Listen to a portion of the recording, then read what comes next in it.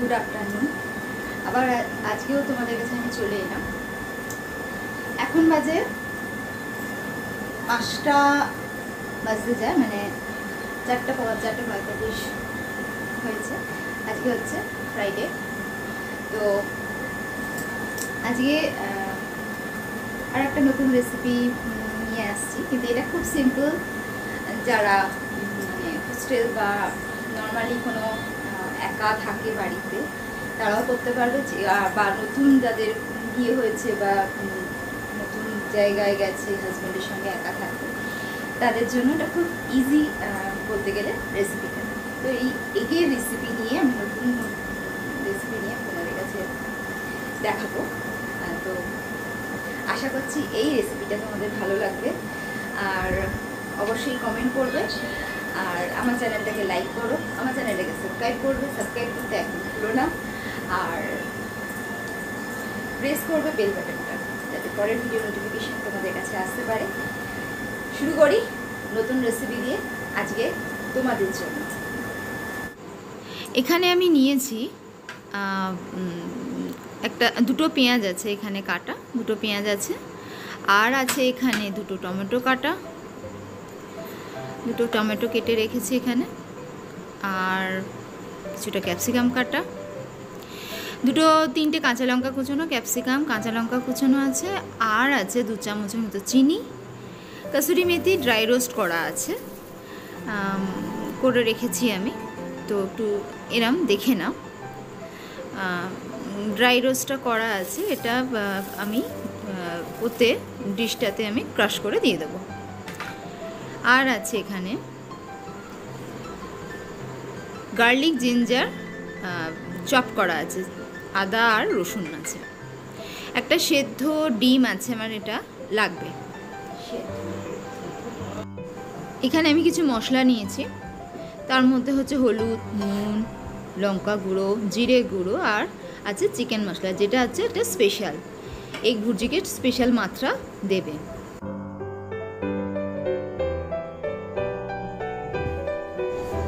আমি এখানে বাটিতে তিনটে ডিম ফাটিয়ে নিয়েছি। তো আমার কিন্তু তিনটে ডিমে হবে না। তো আমাকে কি নিতে হবে? একটা ডিম আমি নিয়ে নিলাম। টোটাল চারটে ডিম আমি এখানে ফাটিয়ে রাখলাম।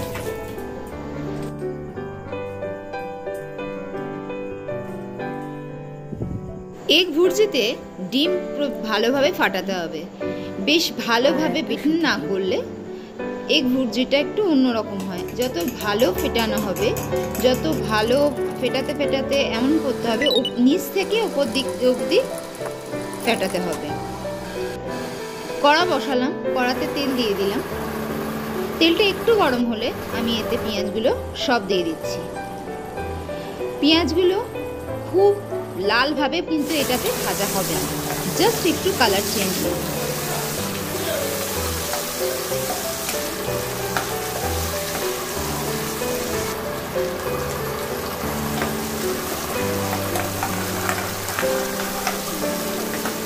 কিছুটা ভাজার পর আমি এতে আদা, রসুন যেটা চপ করা ছিল, আমি সেটা পুরোটা কিন্তু দিয়ে দিলাম। পুরোটা দিয়ে দিতে হবে। এটা ভালোভাবে নাড়তে হবে তার উপর।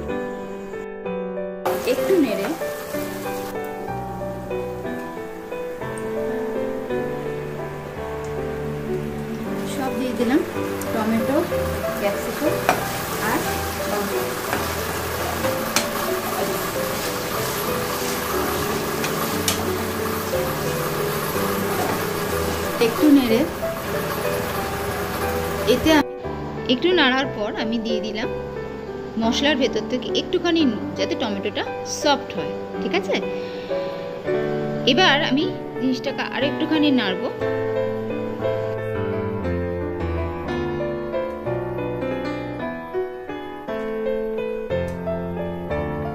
এবার আমি এতে দিচ্ছি ওই দু চামচের চিনিটা পুরোটাই আমি দিয়ে দিচ্ছি, যাতে আমার এই মশলাগুলো আস্তে আস্তে সফট হয়ে যায়।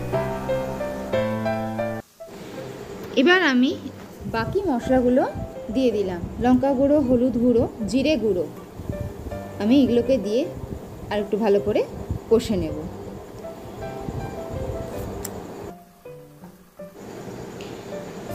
এবার এই ডিশটাকে আর একটু ভালো টেস্ট আনার জন্য আমি দিয়ে দিলাম চিকেন মশলাটা।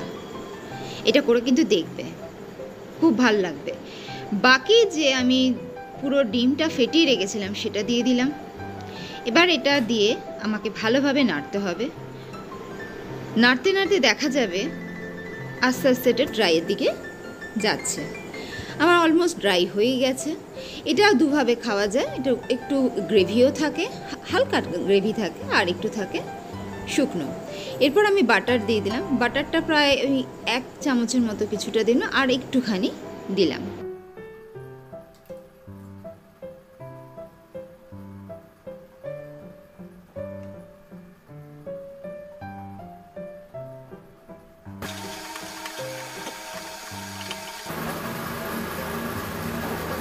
তোমরা দেখতেই পাচ্ছ, অনেকটা ড্রাই হয়ে গেছে।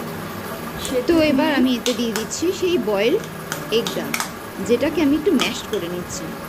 যত ভালো ম্যাশ করবে, ভালো লাগবে খেতে। আমি পুরোটা ম্যাশ করিনি কেন এটা বেশ একটু মুখেও পড়বে, এটা বেশি ভালো লাগে আমাদের। তো এবার দিয়ে দিলাম, যে ড্রাই রোস্ট করা কাসুরি মেথি ছিল, এটাকে ব্রাশ করে আমি পুরো ছড়িয়ে দিলাম।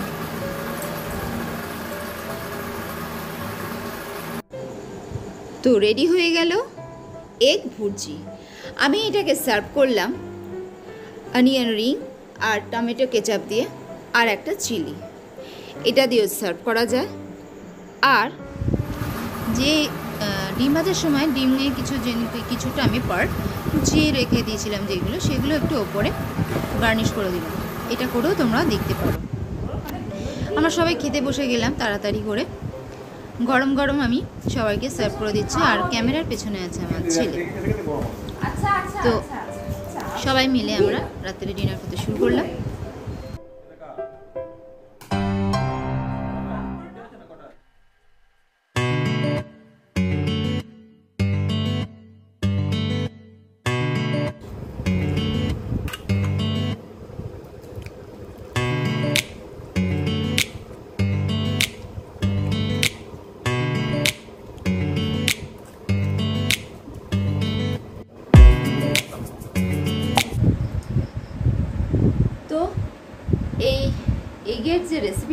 দেখলে।